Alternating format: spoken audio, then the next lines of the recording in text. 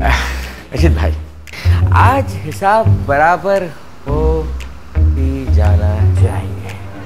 रशीद साहब साहब साहब रशीद साहब, आज हिसाब बराबर हो जाना चाहिए।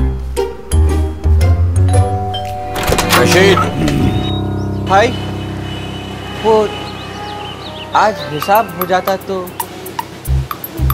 थोड़े से पैसों का। नहीं, कोई मसला नहीं, कोई मसला नहीं। भी जाएगा, ठीक है? उधार वापस मांगकर शर्मिंदा ना हो, इंस्टॉल करें डिजी खाता ऐप, जो रहे हमेशा आपके साथ। मिले उधार की वसूली, तीन गुना तेज। बजरिया मुफ़्त एसएमएस एक से ज़्यादा अफराद के लिए खाता लिखने की सहूलत। सेफ्टी फीचर रखे खाता बिल्कुल महफूज। कारोबार से नाता, डिजी खाता।